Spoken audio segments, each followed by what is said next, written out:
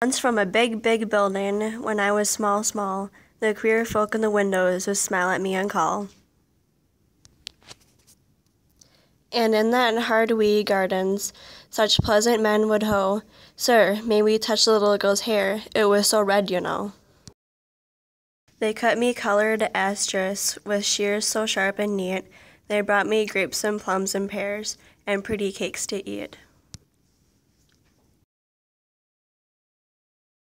And out of all the windows, no matter where we went, the merriest eyes would follow me and make me a compliment. There were a thousand windows, all latticed up and down, and up to all the windows when we went back to town. The queer folk put their faces, as gentle as could be. Come again, little girl, they called, and I called back, You come see me.